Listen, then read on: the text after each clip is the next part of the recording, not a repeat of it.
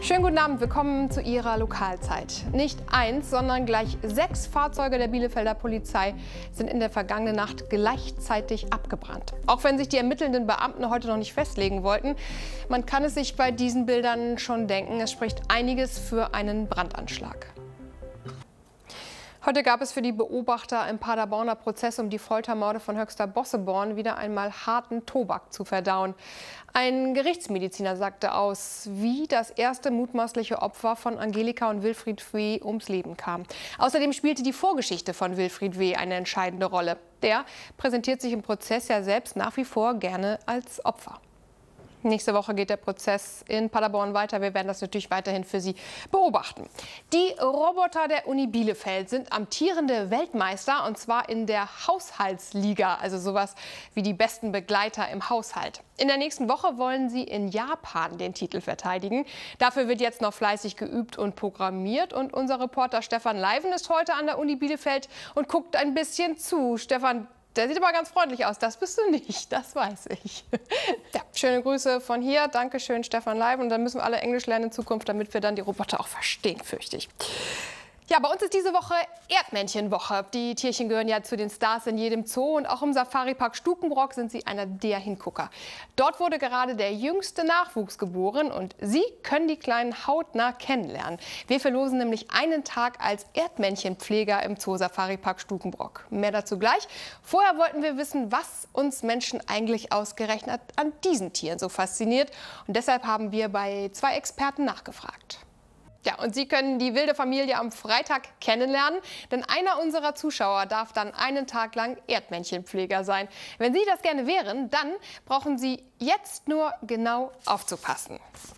E-Mail an studio.bielefeld.wdr.de oder gerne auch über unsere Facebook-Seite. Dort können Sie sich das Video von eben auch immer noch mal wieder anschauen. Unter allen Teilnehmern verlosen wir dann, wie gesagt, den Tag als Erdmännchenpfleger im Zoo Safari Park Stukenbrock. Viel Glück. Ja, und damit sind wir bei den Nachrichten. Seit 18 Uhr sind die Experten des Kampfmittelräumdienstes dabei, eine Fliegerbombe in der Bielefelder Nordstraße zu entschärfen.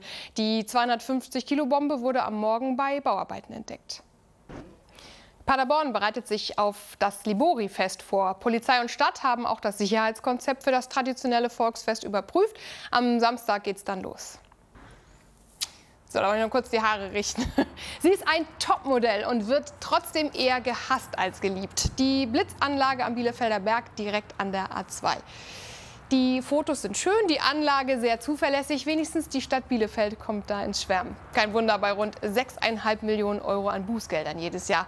Und ab jetzt wird die Anlage sogar noch schärfer. Vom Bielefelder Ordnungsamt ist jetzt Hartmut Filmer zu Gast bei mir im Studio. Schön, dass Sie da sind. Das heißt, äh, jetzt darf da jeder so schnell fahren, wie er will. Freifahren. Eben nichts passiert. Das Ganze hat einen ernsten Hintergrund. Ähm, Ihr Kollege im Film hat ja gerade eben schon äh, gesagt, ähm, was sein Lieblingsfoto war oder das, an das er sich am liebsten erinnert. Wie sieht es bei Ihnen aus? Sie haben bestimmt auch schon einiges gesehen. Ja. Auf den Bildern dann was zusätzlich entdecken. Also nicht nur die Geschwindigkeitsüberschreitung, sondern jemand mit Handy in der Hand am Ohr oder jemand, der nicht angeschnallt ist, womöglich sogar ein Kind, wie Sie eben schon gesagt haben. Gehen Sie da dann auch weiter gegen vor oder reicht da die Geschwindigkeitsüberschränkung für die ähm, ähm, Ordnungswidrigkeit. Na? Einer der Gründe, warum dieser Blitzer am Bielefelder Berg bundesweit wahrscheinlich der bekannteste ist, ist, dass ja so viele Prominente da auch immer wieder reingeraten. Also hier der Sänger äh, Peter Maffei, Alexander Prinz zu Schaumburg-Lippe, auch die Schauspielerin Sophia Tomalla oder Simone Tomalla besser gesagt, wurden da schon erwischt. Äh, Gibt es da in letzter Zeit neue, die da reingeraten sind? Die Zahlen derer, die geblitzt werden, gehen gar nicht so unbedingt zurück seit in den vergangenen zehn Jahren, seit es den Blitzer gibt. Ähm, wie erklären Sie sich das? Jeder müsste doch eigentlich wissen, dass es den da gibt. Es gibt ja so ein paar Sachen, die man in seinem Leben angeblich unbedingt mal gemacht haben soll, oder? Da gibt ein Baum zu pflanzen gehört zum Beispiel unbedingt dazu. Genau das machen Esther und Florian Engel jetzt in unserer Gartenzeit. Wie das genau geht und worauf man achten sollte, das verrät Ihnen Rüdiger Ramme. So, und jetzt lernen Sie bei uns noch diese beiden hier kennen und ihre Großfamilie. Das sind Tanja und Luis, das ist der Weiße hier direkt neben mir. Die beiden Schneeeulen im Tierpark Olderdissen sind gerade Eltern geworden.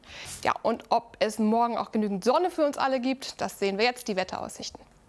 Bei uns. So, und zum Schluss habe ich noch eine gute Nachricht für Sie, denn wie wir gerade erfahren haben, ist die Bombe in der Bielefelder Nordstraße ohne weitere Probleme entschärft worden. Damit sage ich Dankeschön fürs Zuschauen. Hier geht es weiter mit der Tagesschau. Bis morgen.